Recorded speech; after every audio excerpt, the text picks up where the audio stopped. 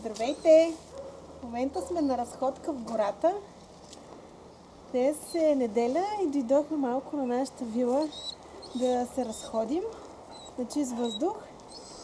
А, вече съм в 28 гестационна седмица. Якито трудно го закопчавам, обаче все още е хладничко и се налага. И отиваме на разходка с Алек и с нашето куче, което е най-щастливо, че е навънка. Хайде да ходим на разходка. Правим малко почивка, защото разходките вече ми се отразяват така доста изморително. Започвам да се запахтявам и затова гледам да си правя повече почивки. А, в момента сме много близо до язовир Искър.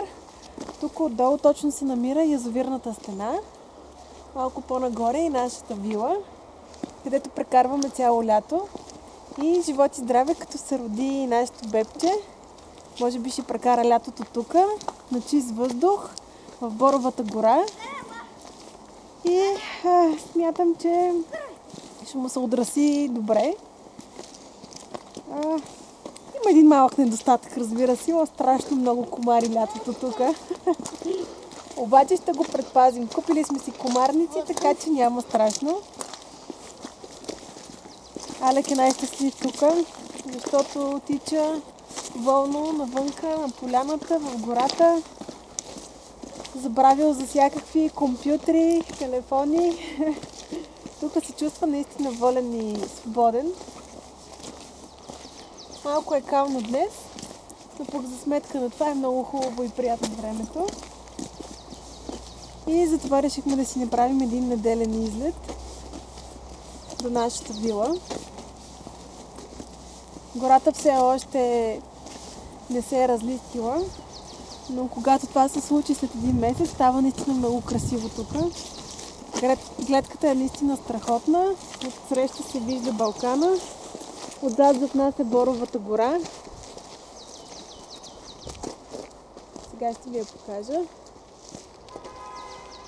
Много е хубаво, особено лятото, прохладно, чист въздух. Ето тук вече имам инзухарчета, са поникнали.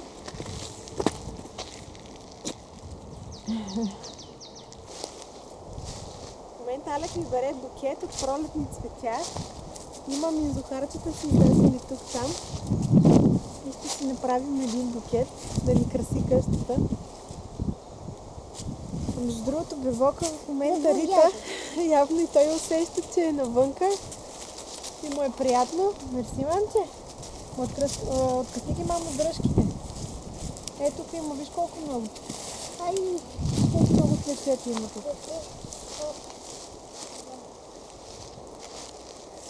Наистина е много приятно да се разхождаш навън. Въздухът е страхотен и имахме нужда след дългата зима малко да излезем сред природата.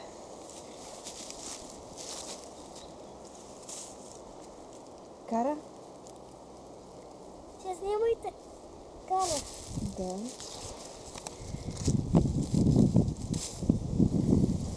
Пиете, айде малко да пишете.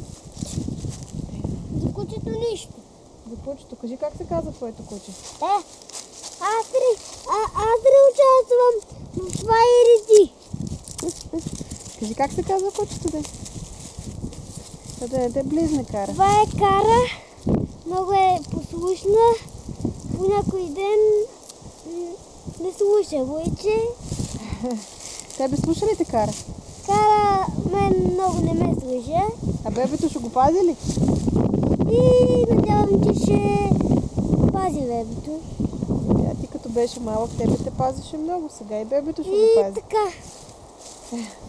Ми, това е от нашата разходка. Ние продължаваме натам. До скоро!